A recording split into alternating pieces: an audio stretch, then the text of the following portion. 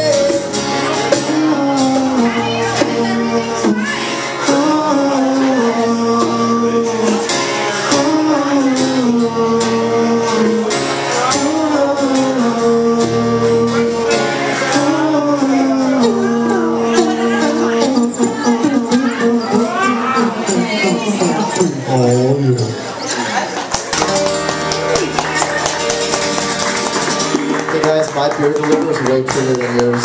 Jesus.